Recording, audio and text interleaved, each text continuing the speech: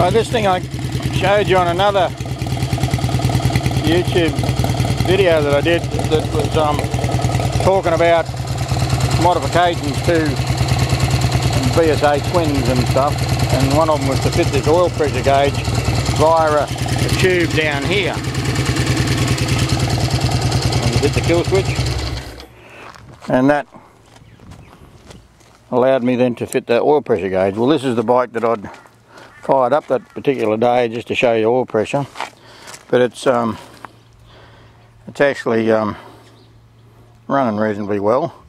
As you can see I've got a, a, valve in here that I can turn the oil off to the to the engine so that it doesn't drain down like a lot of these things do the gear pumps that BSAs have. Anyway this so it is a, uh, the numbers on the engine are Rocket Gold Star but the frame's a standard super rocket frame in and around the 61 2 era. Well actually it's a 62 motor. Um, so it gives me something that's a little bit rocket goldy but not really. Um, it's all a little bit of fun. The head is something that um, I picked up and it's as you can see a twin carburetor. I've got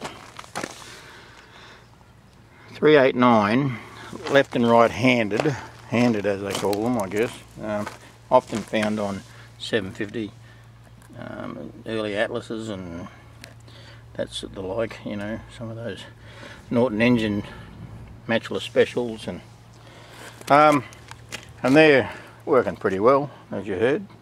It's got the English made swept backs and um, Emgo Goldie style mufflers the Goldie twitters or whatever they call them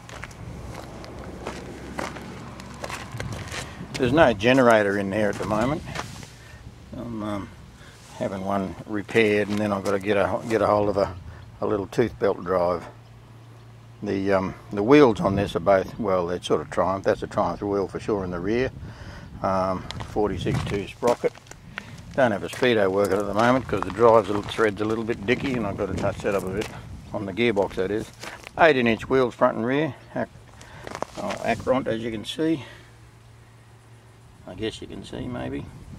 Uh, twin leading shoe, 70 model style. The fork tubes are off like a 68 to 70 A65 and that allows you then to use these uh, lowers that are the, the, Triumph style shuttle valve that that BSA A65 late era drive frame went to.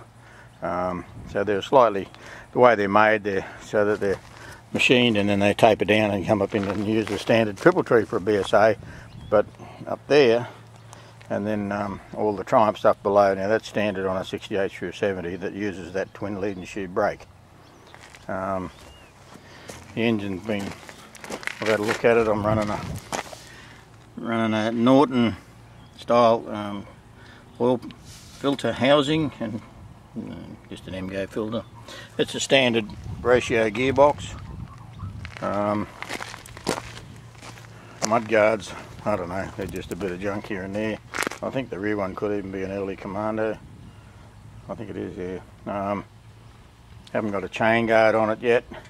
The primary is just a chain drive, but it has a three-spring Triumph clutch. If you're into that sort of into these things, then you know that that's probably the best way to go, which is what the factory did right at the end of it anyway.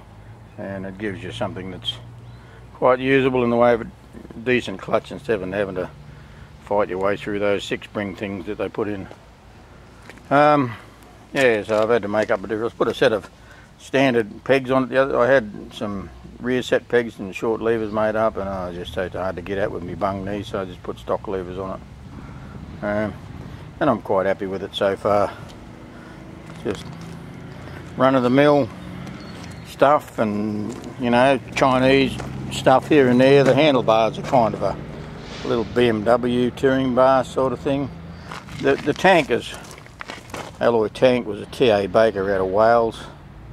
The seat is a Harley Sportster. Um, and it's funny because the Sportster, all that early stuff um, in the Sportsters all fit these frames quite well. There's a nice little low um, seat height type of thing, which is one of the problems with the, some of these bees if they're too low then they make them a little bit cramped to your legs, you know. But by having um, Johnny Morehouse do that seat and he then gave it me gave me a nice little bump in the rear, bit of a calf look, da da da. I never double people, so I don't want to have a normal seat, and that's pretty comfortable actually, and rounded on the side, so it doesn't cut the inside of your leg, and it works quite well.